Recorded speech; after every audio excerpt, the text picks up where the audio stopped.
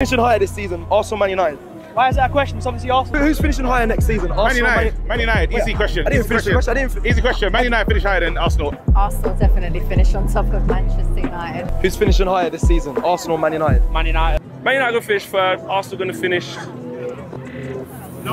fourth. Who's going to finish higher in the Premier League season next season? It's rough to say this, but honestly, I think I think Arsenal. Who's finishing higher? Arsenal, Man United. Oh well, I, I, I personally think Arsenal will. I, I think Man United. I'm, I, I, I've got a little feeling they might struggle this year. Arsenal are obviously finishing first. United are finishing seventh. I'm like- telling you, you heard it here first, bro. Arsenal. Yeah. Man United.